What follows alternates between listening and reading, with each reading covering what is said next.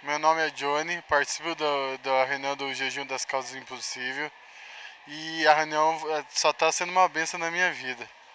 O, o, é, o pastor faz 21 horas de jejum por nós e Deus está abençoando. Que eu aconteceu uma causa para me pagar minhas contas, eu tinha 6.800 reais de conta para pagar, mas não tinha dinheiro de onde tirar. Eu falei, Deus, ou o Senhor abre uma porta, eu não sei o que vai acontecer.